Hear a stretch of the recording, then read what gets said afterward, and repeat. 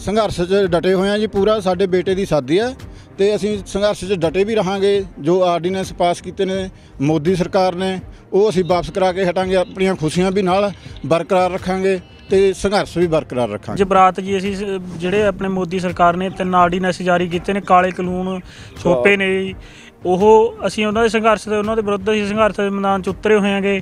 ਤੇ ਅੱਜ ਉਸੇ ਸੰਘਰਸ਼ ਦੇ ਮੈਦਾਨ 'ਚੋਂ ਅਸੀਂ ਅੱਜ ਸਾਡੇ ਭਰਾ ਦੀ ਸ਼ਾਦੀ ਤੀਗੀ ਅਸੀਂ ਉਹ ਵਿਆਹ ਦੇ ਵਿੱਚ ਪਹੁੰਚੇ ਤੇ ਅਸੀਂ ਬਰਾਤ ਝੰਡਿਆਂ ਦੇ ਨਾਲ ਚੜਾਈ ਹੈਗੀ। ਤੇ ਅਸੀਂ ਮੋਦੀ ਸਰਕਾਰ ਨੂੰ ਦੱਸਣਾ ਚਾਹੁੰਦੇ ਹਾਂ ਵੀ ਜਿਹੜੇ ਵੀ ਅਸੀਂ ਇਹ ਸਾਡੇ ਆਪਣੇ ਸੰਘਰਸ਼ ਦੇ ਮੈਦਾਨ 'ਚ ਉਤਰੇ ਹਾਂ ਜਿਹੜੇ ਵੀ ਸਾਡੇ ਕੋਈ ਤਿਉਹਾਰ ਸਾਡੇ ਕੋਈ ਰੀਤੀ ਰਿਵਾਜ ਆਉਣਗੇ ਅਸੀਂ ਇਸੇ ਤਰ੍ਹਾਂ ਸੰਘਰਸ਼ ਦੇ ਮੈਦਾਨ 'ਚੋਂ ਉੱਠ ਕੇ ਇਸੇ ਤਰ੍ਹਾਂ ਝੰਡਿਆਂ ਦੇ ਨਾਲ ਮਨਾਉਂਦੇ ਰਹਾਂਗੇ। ਤੇ ਇਸੇ ਤਿੰਨੇ ਆਰਡੀਨੈਂਸ ਨੇ ਜੋ ਅਸੀਂ ਇਹ ਵਾਪਸ ਕਰਾ ਕੇ ਹਟਾਂਗੇ। ਨਹੀਂ ਕਦੇ ਵੀ ਨਹੀਂ ਦੇਖੀ। ਕਿਸ ਤਰ੍ਹਾਂ ਲੱਗਦਾ ਤੁਹਾਨੂੰ ਬਰਾਤ ਵਧੀਆ ਲੱਗਿਆ ਜਦ ਤੱਕ ਕਿਸਾਨਾਂ ਨੂੰ ਹੱਕ ਨਹੀਂ ਮਿਲੇਗਾ ਅਸੀਂ ਚਾਹੁੰਦੇ ਵੀ ਇਦਾਂ ਹੀ ਬਰਾਤਾਂ ਚੜਨ ਤੇ ਤੁਹਾਨੂੰ ਝੰਡਾ ਨਹੀਂ ਮਿਲਿਆ? ਤੇ ਕੋਈ ਗੱਲ ਨਹੀਂ ਝੰਡਾ ਲੈ ਲਾਂਗੇ ਅਗਲੀ ਵਾਰ ਤੋਂ ਹਾਂਜੀ। ਹਾਂਜੀ ਤੁਸੀਂ ਜੀ ਕਿਸ ਤਰ੍ਹਾਂ ਲੱਗਿਆ ਤੁਹਾਨੂੰ ਬਰਾਤ ਚੜ੍ਹੇ ਚੱਲ ਰਹੇ ਹੋ? ਵਧੀਆ ਲੱਗਿਆ ਜੀ। ਤੇ ਕੀ ਕਹੋਗੇ ਜਿਹੜੇ ਹੱਕ ਨੇ ਕਿਸਾਨਾਂ ਦੇ ਸਾਨੂੰ ਮਿਲਣੇ ਚਾਹੀਦੇ ਨੇ। ਮਿਲਣੇ ਚਾਹੀਦੇ ਨੇ? ਹਾਂਜੀ। ਤੇ ਨਹੀਂ ਇਸੇ ਤਰ੍ਹਾਂ ਹੀ ਬਰਾਤਾਂ ਜਦੋਂ ਝੰਡੇ ਲੈ ਕੇ? ਇਹ ਐਵੇਂ ਬਰਾਤਾਂ ਦੇ ਜਿੰਨਾ ਕਰ ਸਾਨੂੰ ਹੱਕ ਨਹੀਂ ਮਿਲਣਗੇ ਉਹਨਾਂ ਕਰ ਅਸੀਂ ਐਵੇਂ ਬਰਾਤਾਂ ਚੜਾਂਗੇ